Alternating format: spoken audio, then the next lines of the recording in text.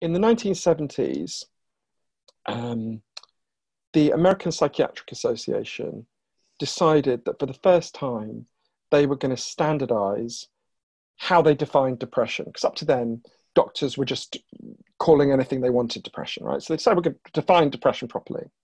So they, they wrote a fairly basic um, definition, and it's things people could guess. They drew up a checklist of 10 symptoms, things like crying a lot, feeling life isn't worth living.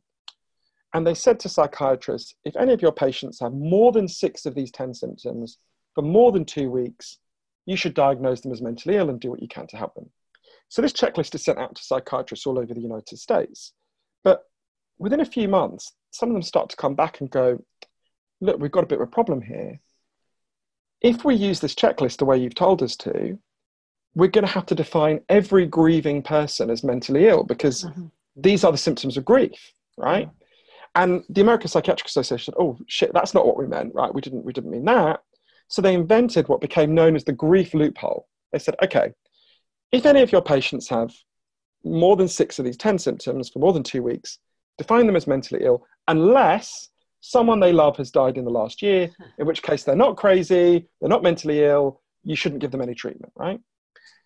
But so psychiatrists started applying that, but then that begged the obvious question why is someone you love dying the only reason where you're allowed to feel really bad and not mm. be classed as mentally ill? Why not if you've lost your job? Yeah. Why not if you're stuck in a job you hate for the next 40 years? Why not if you've been made homeless? We can all think of immediate examples, right? Mm. And you can see how these, what appears to be a neutral science, is in fact based on these profoundly capitalist values. Yeah. Because if you allow all of that context into psychiatry, then you start diagnosing the society, not the individual, right? Mm. Actually, why have we got a society where so many people are unhappy?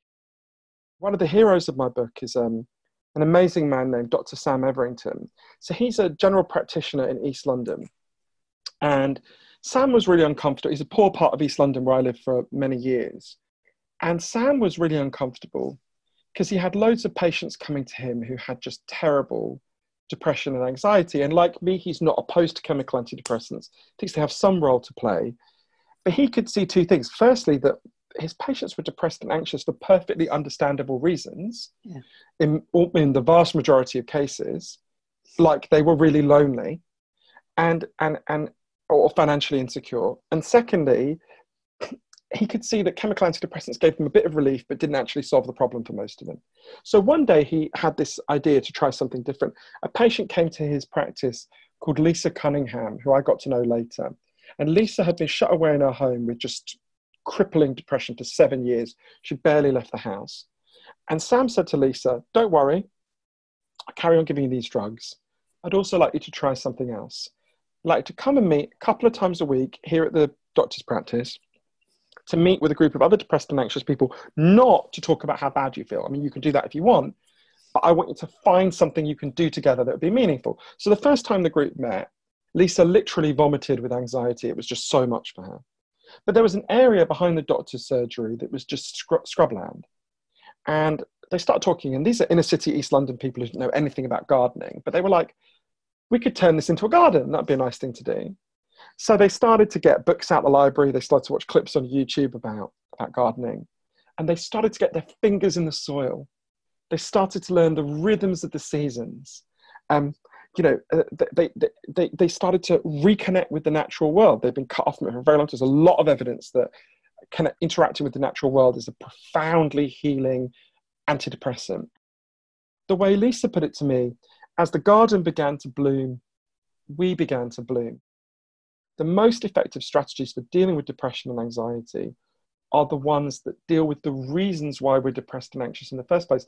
They're the ones that respect the signal, that listen to the signal and solve the underlying problem. What we've been doing up to now, way too much of the time, is pathologizing the signal and insulting the signal and saying it's a sign of weakness or it's a sign of craziness or it's purely a biological malfunction when in fact that that's a way too simplistic a way of understanding what this problem is and it leads us therefore to find the wrong if you if you don't have an accurate map you can't find your way through the territory right and because we've given people an inaccurate map of their problem or a very limited map of their problem it's not totally inaccurate there are some biological contributions it's always important to stress that but you know, we've we, we've um, we've neglected the real. We've neglected to explain the real problem.